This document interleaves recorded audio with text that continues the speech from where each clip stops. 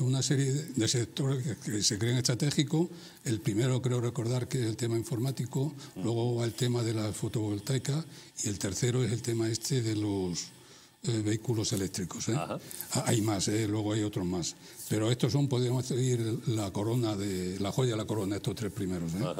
Y, y, y, y, ahí los fondos europeos que nos vienen hay que distribuirlos a los empresarios que van a hacer los proyectos.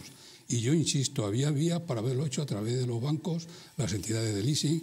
El leasing es un, el arrendamiento financiero es un tipo de financiación finalista, no se da dinero al, al, que pide la inversión, sino que lo que se le da es la máquina o, el bien que quiere hacer. ¿eh? En definitiva, la inversión productiva que antes hablaba Ana, que es la clave. No se está financiando consumo, sino que se está eh, financiando inversión productiva.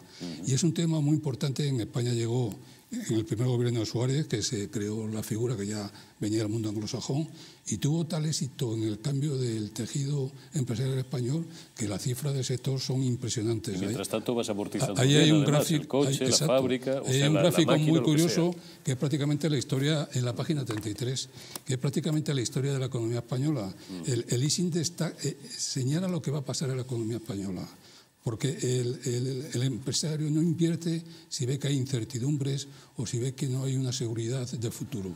Y, si ves, por ejemplo... veo yo aquí el gráfico, es que es muy pequeñito, no se va a ver evidentemente, pero dice evolución de la, inversión financiada mediante leasing, y entonces, bueno, pues es una, es una función lineal, es una función creciente, cuyo máximo pico pues alcanza, veo yo aquí, entre 2006 y 2007. claro, justo el año anterior a la, gran crisis, financiera, correcto. Y luego, muy curioso, si ves la cifra última que hay en el libro, que es la del 2020, creo recordar, 2020. 2020, e, esa cifra, si trazas una línea, mm. vamos todavía por 1997.